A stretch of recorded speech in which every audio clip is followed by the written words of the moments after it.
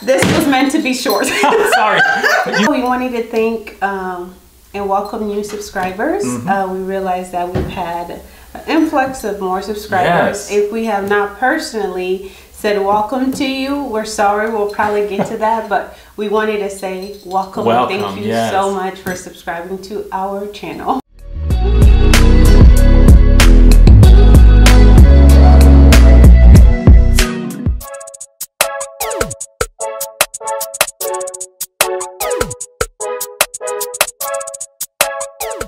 Hello, dear friends. Hey guys. Welcome back to the Majestic Family Channel. Uh-huh. My name is Jory, and this is my lovely wife. Viname or V? Make sure you subscribe to the channel and comment down below so we can stay in touch. Don't forget to like, share, turn on your notification bell So you know when a new video comes out. Thank you. Okay, today Today. we are doing a follow-up video to Who Stole My Wedding Ring. Yeah. And if you have not seen uh, part one, we advise you to do so. Yeah, go check it out back. and then come and hear our conversation. So, having all the comments, so many of you were saying you understand, and many of Mm-hmm. you had been there and gone through similar things. And it's really great to know that we're not alone Mm-hmm. in this. Um, but it's also sad to Right. see how much this prosperity gospel uh, deception has affected people. You know, numerous comments, and we want to go through a few of those and address some of the questions, some of the comments, Mm-hmm. so you understand what we're not saying Mm-hmm. and what we are saying. What we're saying. One of the ones that we got was uh, someone took your rings, go get your rings back. What we want you to understand about that is that we're we're not interested in trying to get the rings back. Mm-hmm. Um, we didn't share it, you know, so that we could try and somehow coerce them to give our rings back. Yeah, no. Um, Luke six talks about uh, that when someone's stolen something from you, don't try and get it back.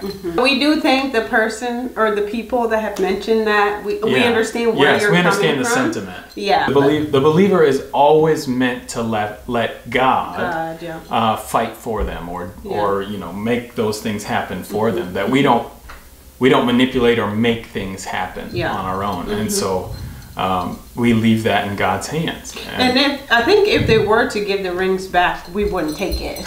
So right. The reason we shared, of course, was because we were asked all the time why Mm-hmm. May doesn't have a wedding ring on. even the people in our lives, like Right. our day to day lives, Right. wonder like People how in our come physical it- sphere. Yeah. even in our family have asked yeah. What happened why to your what happened to Yeah. your ring like Yeah. why don't you wear a ring anymore so Right. yeah We were always pretty quiet about it. This is Yeah. the first time we've shared publicly. Um, and then second of all, it's to maybe help someone who's Yeah. who's caught in in this twist of a gospel truth or of a, of a godly truth. Mm-hmm. Because God is a giver. right He gave his son. Yeah. His son gave his life. Mm-hmm. And giving is paramount and primary for a believer. Yeah. But it's been twisted in this message to where uh, it's now become manipulated for the sake of greed. So what we're not saying is don't give Right. that's not what we're Please saying understand. Yes. yeah. what we are saying is be a generous giver Right. completely Yeah. yeah And if we want to get into the topic of how much you're supposed to give, we can talk about, you know, Old Testament moving into New Testament with Yeshua, with Jesus, changing things, and you would think, oh, now we don't have to give as much. However, mm-hmm. the standard of giving is increased under Messiah because right. we have to give everything. that's right God God doesn't want part of us or part of our things. It's all his anyway. Mm-hmm. We owe him everything. Mm-hmm. And so to think that we own anything or that we were not going to give is ridiculous. Mm-hmm. I mean, the rich young ruler when he wanted to be close to Jesus, Jesus pinpointed the one thing he told him to go and sell everything he had and follow him. Mm-hmm. And we have to be at a place in our lives where if Jesus puts his finger on it, we're ready to give it. That's right. And I mean everything. Everything. And that's a little more than 10%. percent mm-hmm, mm-hmm. Um, the problem is when man coerces and manipulates good believers into into giving because they're putting God's name on a right. certain twist Yeah. of this thing. Someone is giving and you know it's from a place of generosity of of a believer being generous that's awesome. I don't want to i don't want to dissuade that or or stifle that. Yeah, I, I think Christians should be generous, and some need to be very intentional on a weekly basis or a monthly basis, you know, and for them, that that is them being generous, and that is awesome.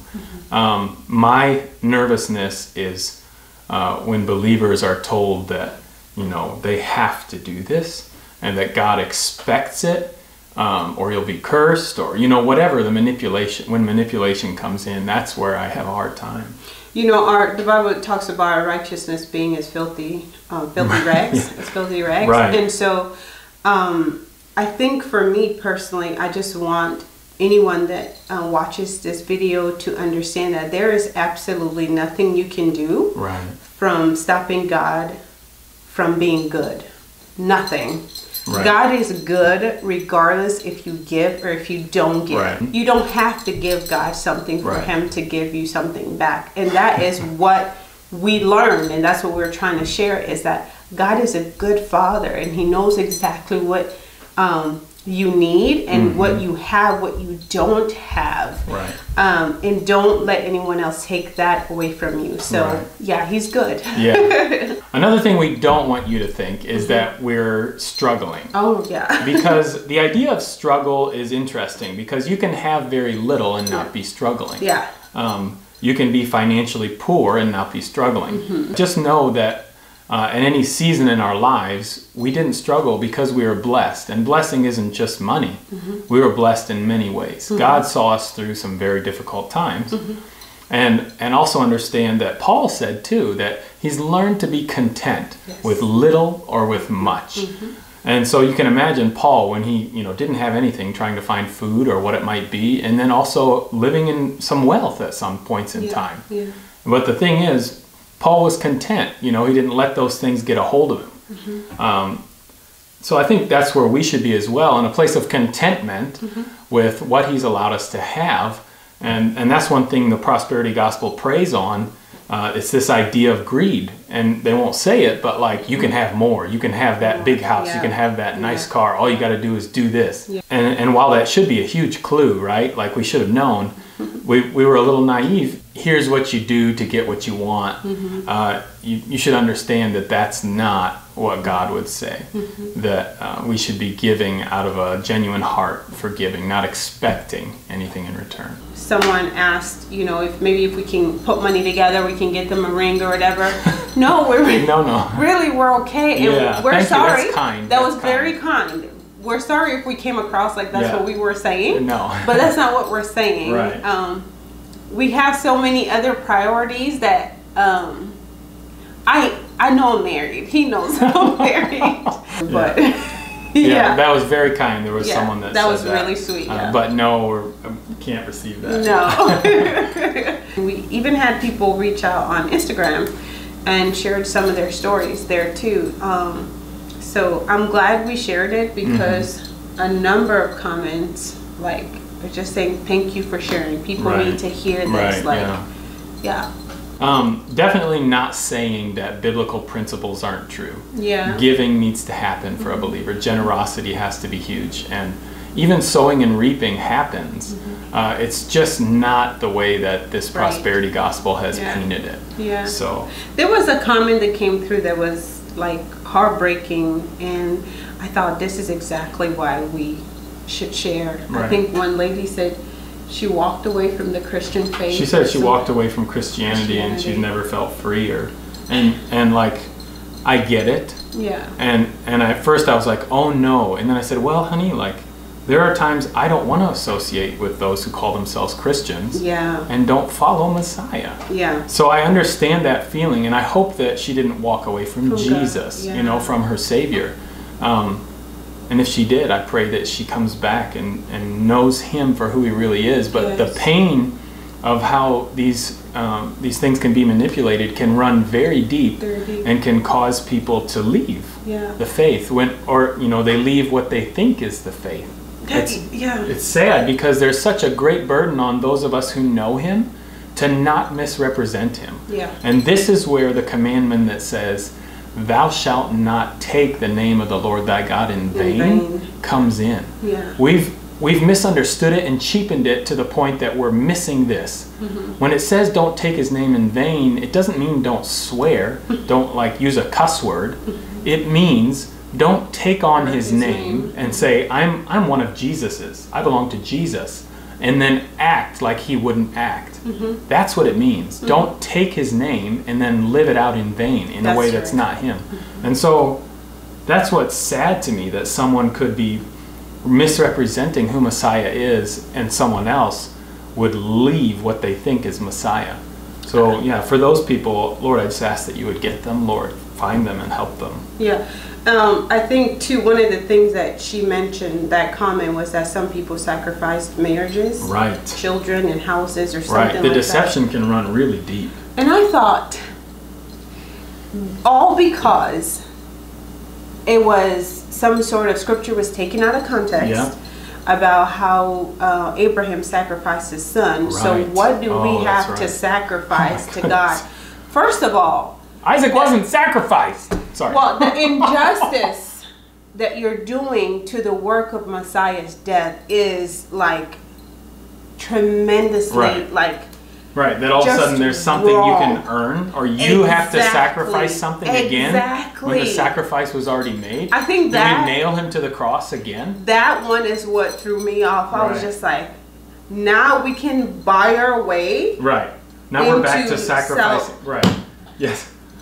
What what does he want? Obedience? What does he want? He, he, he prefers obedience, uh, mercy, Mercy, over yeah. sacrifice. And so the fact that you have to sacrifice something to get something else and, and then compare it to what the beautiful picture of what Jesus Yeah. would have done for us on Right, the cross is right. disgusting. And so that is what kind of had me angry. It's like, now this is going straight into the heart of the gospel, And and, this- and- that's not okay. Yeah, and we'll get into this more, but this is the problem with not reading and understanding the word Right. as inspired by the Holy Spirit because that whole story points to the the replacement, what's the word? The the ram was mm-hmm. the substitution Yes. for the sacrifice of Isaac. Isaac represented us as people Yeah. and we needed to die for our We- sin we and there was there was a substitution in messiah That the God ram provided. that god provided provided. and and that to Yeah. use it for any other reason It's that sickening. story is sad because It that's is. not what it's saying it's not saying sacrifice something you know important to you Yeah. that's not what it's saying. We, we live under the new covenant where God has sent his son and by his mercy and grace sacrificed him for us. And so that whole idea that that was used is just so sad. um, like George said, we can go in depth about, you know, tithing and all this stuff. Yeah. But we cannot have a discussion on a topic. We want to talk about uh, giving, Mm-hmm. and you're calling it a seed. Well, the seed is the word of God, not money. Sure. So when you're saying I'm sowing a seed into good ground, it's talking about the word of God. Right. So we can't really start a conversation So you redefine what you're talking about. till the definitions are set and then we can have a conversation Right. so um, that's what i wanted to say i didn't want other people to read that and, and think oh yeah sowing a seed no in the word it meant um, the word of god Yeah. Okay, so we may do another one depending on how many more comments we get. oh boy but it's been fun. I- It's something we're passionate about. Very passionate. Things of. God. And, Yeah. and please understand, we don't know everything. nope And you know, there may be something we learn, and we'll have to go back and say, well, you know, here's something new we learned. yeah Um, I'm open to that. I think we're at a place where we don't claim to know everything, yeah but we're just sharing our experiences and a little bit of what we think we've learned. Yeah, And- and the encouragement today is that our the resurrected Christ from death is living inside you. Mhm. So you too have the same access to God Yeah, as your pastor. yeah, Um, you have the same strength, Holy Spirit, Right. living in you. yeah. Um, There's no distinction. You ju- Yeah. no, you just need to tap into that Mhm. and believe that Yeah. God hears you when you pray, Yeah. just as much as He hears your pastor when he prays. Right. Like in the kingdom of God, there is no like you're the lesser people, Right. we're the more important Right. people. That's something that always bothers me. Yeah. Is when people misunderstand that your pastor, your priest, you know, whatever, your person that you look to for counsel or teaching on the Bible, they're not closer to God than you. Yeah. The, the Bible clearly says there is one mediator, Mediator. between God and man. One. Mm-hmm. It's the man Jesus. Jesus Christ. And he is the only one that's you know between us and the Father. Yeah. He and be, and the reason he's between us is because he's the bridge. Yeah. He laid down his life so we could walk across him to the Father. That's the only reason that he's there. He's he's the first fruits among many brethren. But yeah, you're those those in the faith that really know God and pastors would many good pastors would totally admit this. You know, Yeah. like, hey, I'm not above anyone. Right. Oh yeah. and, and maybe that misunderstanding is there and they don't even realize it you know Right. because of the way the greek thing changed church and Mm-hmm. how they're on a platform and you know the way the church looks now where we all look up at them um, But we're not saying you can't have someone to help you along Right, the no, way no, in no. your walk. That, no, that having some- not right, what we're no, saying. having someone can be very good, just that your understanding is we're all believers, Believers, moving toward Messiah, that we're with Messiah and we're moving toward a common goal Yeah. to become, you know, have unity in the faith, grow in our gifts to help others know Messiah. Um, yeah, that we're, we're going at this together. That's something that always bothered me. Like, Yeah. if someone at work, like, I used to work at a place where there were a few guys that had just got out of prison, and you know, they would they would look at me because I, you know, didn't swear or you know do certain things, and they're like, "Well, you know, you're closer to God or whatever," and that always frustrated me so much because if these guys would understand that while they're in prison, Mm-hmm. they are as close to God as anyone else, maybe closer because they're in a place where they Mm-hmm. No can focus, you know, and like they have such like rich, fertile ground where Mm-hmm. people are humbled by the fact that they're there, and Yeah. like you guys like nothing makes you closer to God than someone else except like spending time with Um, them. yeah. Like that's it. Yeah. Like not being a pastor or whatever. Anyway, we He can go on doesn't love them more. Just know that Right. God is no respecter of any person. If Right. you come to Him and you're saying, God, this is what I need as far as like your your spiritual growth and maturity, He will walk you through that. I'm just speaking from my own testimony. Right. And so, yeah, I just want to encourage you guys, like. You get before the Father. You spend time with Him. Yes. There's you'll nothing see you can do to earn it. no, you will see some crazy stuff start happening in your way of thinking. Yeah. Um, that you start seeing everyone like, oh, that's my brother in Christ. That's my sister in Christ. Like, um, yeah, they might have more knowledge that I can, you know, Right. but you too can get there. Right, grow. Ask them to study yeah, with you. Yeah, exactly. All right. So we love spending time with you guys. Thank you so much for giving us this opportunity to Uh-huh. be with you. Thank you for watching today. Mm-hmm. And as always, dear friends, keep looking up.